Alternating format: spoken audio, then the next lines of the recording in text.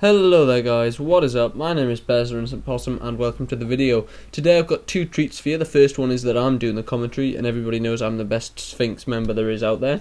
Second of all, this beastie gameplay that you're about to see, Search and Destroy on Havana on Black Ops 1.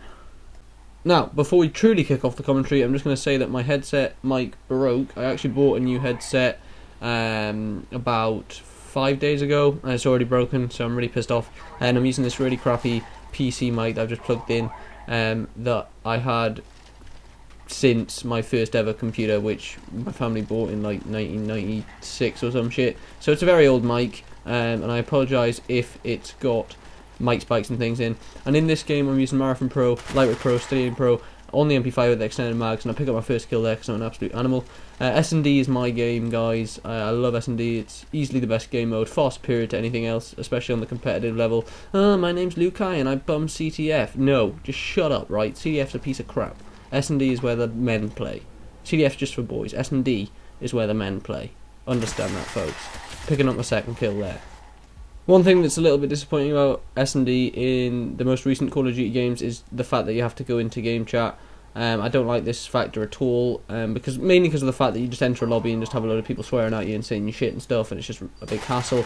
Um, and then on top of that, I think the reason they introduced it was to stop people being on opposite teams in the same party, helping one another out, uh, and telling people where everyone is. And they uh, added this sort of game chat feature to get rid of this sort of cheating, but private chat still exists, so fuck it, everyone's just going to cheat anyway. You might as well let me play in the party talking to my friends while I'm on COD and they're playing Halo or whatever. Uh, and I can talk to them while I'm doing S&D because I usually play S&D by myself guys it's just something I do I find it fun um, I play for myself when I play S&D unless I'm playing uh, with my friends because I mean this team was absolutely shit um, I basically won as the first three rounds. Um, got the assist there, that was nearly the ace. I was quite pissed off that I didn't manage to pull that off. Um, but five kills in the first round isn't bad at all.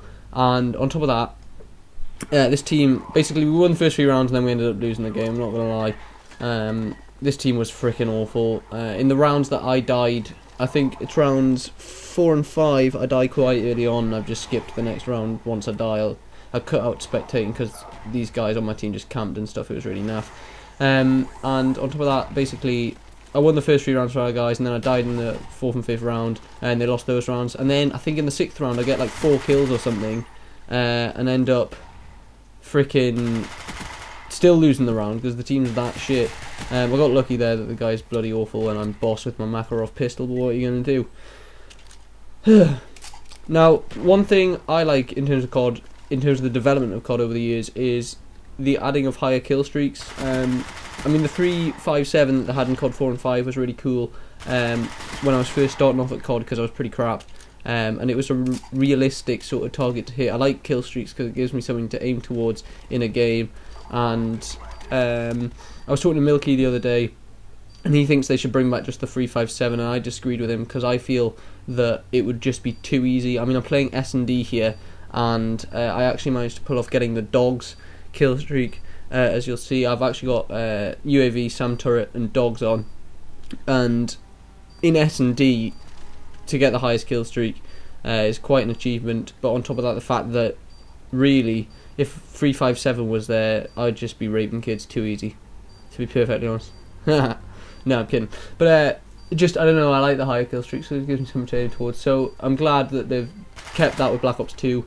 Um, and the multiplayer Black Ops 2 looks just so freaking awesome. Uh, and I really can't wait to play Black Ops 2.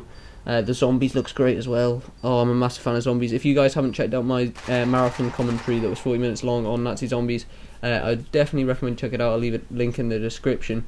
Um, basically, where I play from round 1 to 18 um, on all four of the classic maps, going from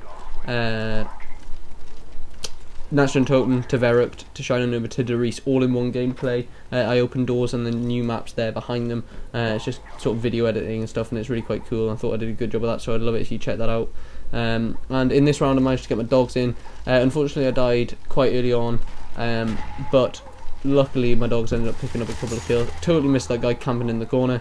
Um, I think he was trying to get on the bed to hide from the dogs, but my dogs go to town um, on a couple of guys that guy actually had a good spot on top of the bed there because obviously the dog couldn't touch him. But yeah, I, I think personally that Black Ops, there's one kill from the dogs. Uh, I think the Black Ops 2 will be the best COD yet. Um, I thought the Modern Warfare 3 was very, very, very, very boring, very stale, very early on. Um, I don't know what it was about it that was uh, bad, but just I don't know. It just I got quite bored of it quickly. Um, and I think all the new features and stuff in Black Ops 2, uh, the new class system for starters looks really awesome.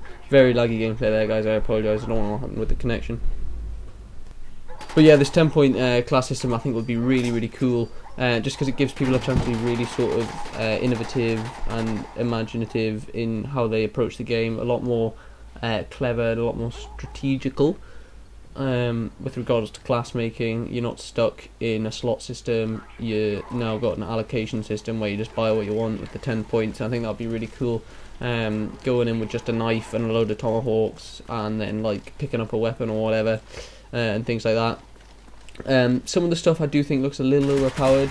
Uh, that scope that uh, shows where people are when you aim down with the red diamonds, almost like it's a kill streak. Uh, I think that'd be a bit OP, to be perfectly honest, but I know that I'll just be bossing it with my UAV assists and racking up my kill streaks uh, like the animal that I am, so it shouldn't be a problem. Um, and hopefully, like I say, in S&D they'll get rid of the game chat thing, but if they don't, it's no big deal.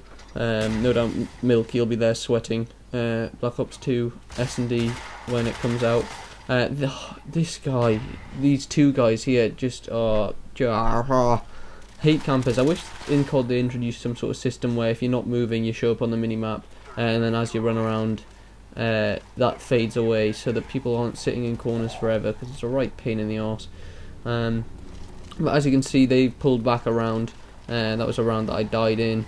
Um, obviously the round before that I also died but fortunately I had my dog sent in so they could still do something because my team are absolutely useless.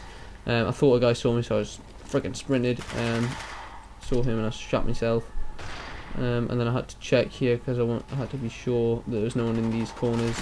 And I got lucky with the double and triple play bitches.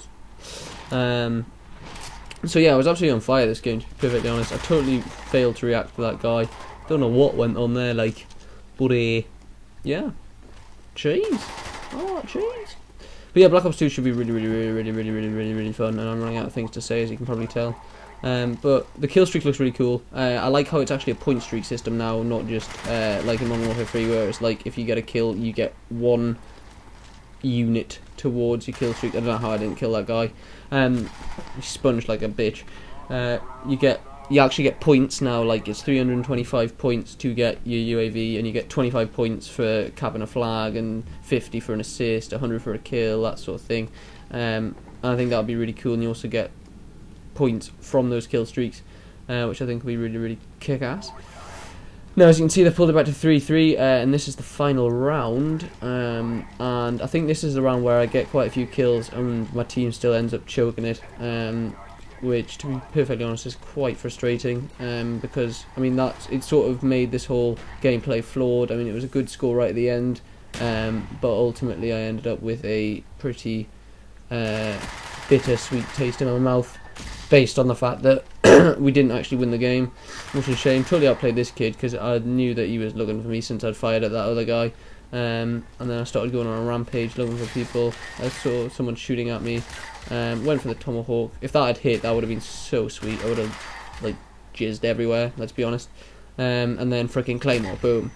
But you know, uh, I killed off three of their team, um, and this guy just runs in and gets shot like an idiot because they're camping again. Uh, and I ended up 20 for 5. Uh, good gameplay. I was pretty happy with it. Hopefully, I can perform this well in Black Ops 2. Um, please subscribe to my personal channel if you haven't already. I'll leave a link in the description, and I'll see you in the next video.